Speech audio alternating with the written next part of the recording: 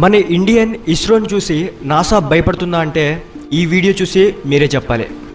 NASA ప్రయోగించినటువంటి Apollo యాభై ఏళ్ళ ప్రస్థానం తర్వాత ఇన్నాళ్ళకు మనం చంద్రయాన్ను ప్రవేశపెట్టాం. దీంతో భారత అంతరిక్ష చరిత్రలో మరో అద్భుతమైతే ఆవిష్కృతమైంది. పరిశోధక పరికరాలతో పాటు నూట ముప్పై కోట్ల మంది భారతీయుల ఆశలు ఆకాంక్షలను మోస్తూ చంద్రయాన్ టూ నిర్ణీత కక్షలోకి చేరింది. చంద్రుని మొత్తాన్ని జల్లెడి పట్టేది మేమే అని చెప్పేసి నాసా చెప్పుకుంటుంది. దానిలో నిజమెంత ఏం చేయబోతుంది అన్న విషయాల గురించి ఈ వీడియోలో నేను మీకు చెప్పబోతున్నా. ఈ వీడియో స్టార్ట్ చేసే ముందు నా ఛానల్కి కొత్తగా వచ్చినట్లయితే కనుక సబ్స్క్రైబ్ చేసుకోండి. అదేవిధంగా పక్కనే ఉన్నటువంటి బెల్ ఐకాన్ని యాక్టివేట్ చేసుకోండి. అలానే వీడియోని పూర్తిగా చూడండి నచ్చితేనే లైక్ చేయండి. ఇక స్టార్ట్ చేద్దాం. నాసా ప్రయోగించినటువంటి అపోలో లెవెన్ తర్వాత ఇన్నాళ్ళకు మనం చంద్రయాన్ను ప్రవేశపెట్టడం జరిగింది. GSLV mark three M one తనపై ఇస్రో ఉంచిన నమ్మకాన్ని నిలబెట్టుకుంటూ వ్యోమనౌకను రోదశలోకి మోసుకెళ్ళింది. భూకక్షలకు దాన్ని చేర్చింది. దీంతో చందమామపై మన దేశం చేపట్టినటువంటి ప్రతిష్టాత్మక రెండో యాత్రలో తొలి అంకం విజయవంతంగా పూర్తయింది. దీంతో అమెరికా ఉలిక్కి పడినట్లు తెలుస్తోంది. ఇండియా కన్నా ముందు చంద్రుని మీద తవ్వకాలు జరుపుతామని నాసా అధినేత జిమ్ బ్రిడెన్స్టైన్ మీడియా ముందుకు వచ్చి చెబుతున్నారు. దీనికోసం ఫండ్స్ సేకరిస్తున్నామని చెప్పేసి ఆయన తెలపడం జరుగుతుంది. ఈ శతాబ్దంలో ప్లాటినం వంటి విలువైన పదార్థాల కోసం చంద్రుని ఉపరితలంపై మొత్తం తవ్వించేందుకు ఏర్పాటు చేస్తున్నామని చెప్పేసి సిఎన్బిసి ఇంటర్వ్యూలో ఆయన చెప్పడం జరిగింది. మునిపెన్నడూ లభించని పదార్థాల శ్రేణిని అన్లాక్ చేయడానికి సాంకేతిక పరిజ్ఞానంపై అదనపు ఆసక్తి కొత్త పురోగతులకు సహాయపడతాయని చెప్పేసి నాసా అధినేత జిమ్ బ్రిడెన్స్టైన్ సిఎన్బిసి ఇంటర్వ్యూలో చెప్పడం జరిగింది.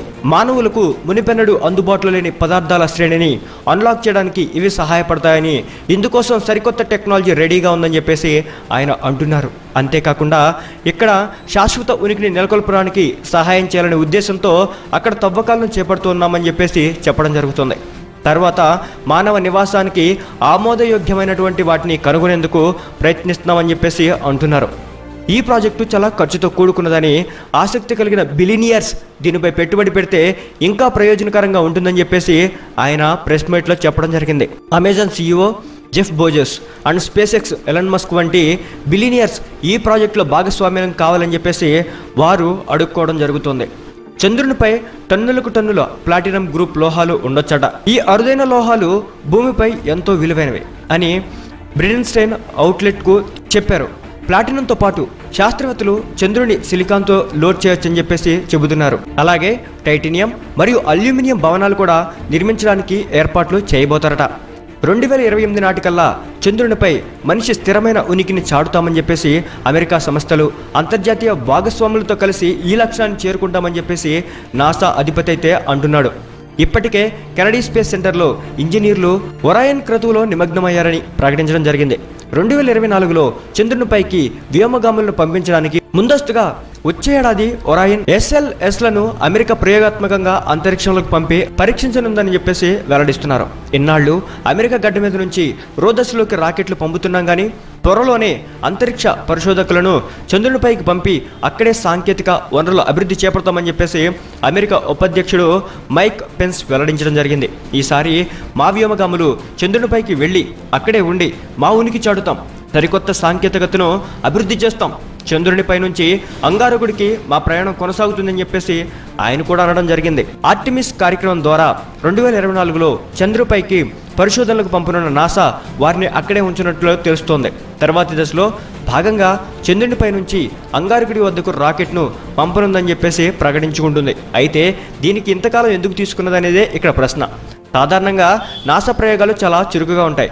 భారత్ జాబిల్లి యాత్రను చేపట్టిన వెంటనే ఈ ప్రకటన వెలువడడం ఇక్కడ గమనార్హం.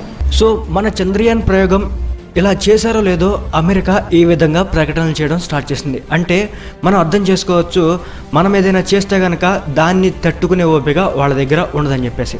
సో ఇదే వీడియోలో నేను ఇంకో టాపిక్ కూడా కవర్ చేయబోతున్నాను. అదేంటంటే ఒకవేళ మన భూమి కనుక అంతమైతే మనం ఏ గ్రహాల్లో నివస నివాసం ఉండొచ్చో కూడా ఈ వీడియోలో నేను మీకు క్లియర్గా చెప్పబోతున్నాను. ఈ భూమి ఎప్పటికైనా అంతమవుతుందని మానవ జాతి నశిస్తుందని చెప్పేసి ఎప్పటి నుంచో వార్తలు చక్కర్లు కొడుతున్న విషయం తెలిసిందే కదా. సైంటిస్టులు కూడా దీనికి ఊతమిస్తూ కొత్త గ్రహాల్లోకి వెళ్ళాలని చెప్పేసి అందుకోసం రీసెర్చ్ చేస్తున్నామని కూడా అని చెప్పేసి చెప్పడం అయితే జరుగుతుంది. ఏదేమైనా భూమి అంతమైతే మనుగడ ఎక్కడ అనే ప్రశ్న కూడా తలెత్తుతుంది మనకు. ఇదే సమయంలో విశ్వంలో భూమిని పోలిన గ్రహాలు ఎన్నో ఉన్నాయనే ప్రచారం కూడా జరుగుతోంది. అందుకు తగ్గట్టుగానే శాస్త్రవేత్తలు భూమిని పోలిన గ్రహాలు ఉన్నాయని చెబుతూ వస్తున్నారు. అదే సమయంలో గ్రహాంతర వాసులు కూడా ఉన్నారనే ప్రచారం కూడా ఉంది.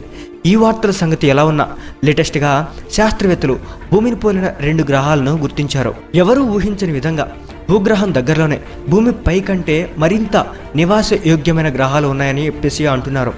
విశ్వం వెనుక భాగంలో భూమి లాంటి రెండు గ్రహాలను రీసెర్చ్ టీం అయితే గుర్తించింది. అవి రాతి ఉపరితలాలపై నీరు ఏర్పడడానికి సరైన జోన్లా ఉన్నాయన్నమాట. ఈ గ్రహాలు టీ గార్డెన్స్ నక్షత్రం అని పిలువబడే సూర్యుని చుట్టూ తిరుగుతున్నాయి. ఇది భూమి నుంచి పన్నెండు పాయింట్ ఐదు కాంతి సంవత్సరాల దూరంలో ఉందన్నమాట. ఈ రెండు గ్రహాలు చూడటానికి భూమిలా కనిపిస్తున్నాయని కాగా ఇవి చాలా భయంకరంగా ఉండే అవకాశం కూడా ఉన్నాయని చెప్పేసి అంటున్నారు. జర్మనీలోని గొట్టింగన్ యూనివర్సిటీ పరిశోధనలోని astrophysics institute research scientist జగ్మైస్టర్ ఓ ప్రకటనలో ఓ విషయం తెలిపారు. ఈ రెండు గ్రహాలు మన సౌర వ్యవస్థ యొక్క అంతర్గత గ్రహాలను పోలి ఉన్నాయని చెప్పేసి ఆయన తెలపడం జరిగింది. అవి భూమి కంటే కొంచెం బరువుగా ఉన్నాయని దానిపై నీరు ద్రవ రూపంలో ఉందని చెప్పేసి ఆయన అంచనా వేయడం అయితే జరిగింది. ఈ రెండు గ్రహాలు నివాస యోగ్యమైన జోన్ అని పిలువబడే వాటిలో ఉన్నాయని చెప్పేసి పల్లగుద్ది మరీ చెబుతున్నారు. భూమిపై కంటే కూడా ఈ గ్రహాలు నివాసానికి ఎంతో అనుకూలంగా ఉంటాయని చెప్పేసి చెప్పడం అయితే జరుగుతుంది. కాగా ఈ గ్రహాల మీదకు వెళ్ళాలంటే చాలా కష్టమని కూడా అంటున్నారు. వీటి మీదకు ప్రయాణించాలంటే పన్నెండు పాయింట్ ఐదు కాంతి సంవత్సరాలు పడుతుందని చెప్పేసి చెబుతున్నారు. ఇరవై ఐదేళ్ళలో అంగారక గ్రహంపై మానవ నివాసం సాధ్యమవుతుందని చెప్పేసి ప్రస్తుతం అయితే నాసా కూడా నమ్ముతుంది. భవిష్యత్తులో ఏ వ్యోమగామైనా అంగారక గ్రహంపై అడుగు పెట్టాలంటే ముందుగా ఎదురయ్యే అంతరిక్షం నుంచి ప్రాణాంతక రేడియేషన్పై దృష్టి పెట్టడం తప్పనిసరి. అయితే ఇలా చేసినట్లయితే గనక దృష్టిని కోల్పోవడం ఎముకలు కృషించడం తదితర ప్రమాదకరమైన సవాళ్ళను ఎదుర్కోవాల్సి వస్తుందని చెప్పేసి ఖగోళ శాస్త్ర నిపుణులైతే అంటున్నారు. నాసా అధికార యంత్రాంగం అయితే ప్రస్తుతం ఈ మాటలను అయితే చెప్పడం జరుగుతుంది. అయితే అమెరికా అంతరిక్ష పరిశోధన సంస్థ నాసా మాత్రం ఇరవై ఐదేళ్ళలో అంగారక గ్రహంపై మానవుడు అడుగుపెట్టడం సాధ్యమేనని నమ్మబలుగుతుంది వాళ్ళ వైపు నుంచి. చూద్దాం ఏం చేస్తుందో నాసా.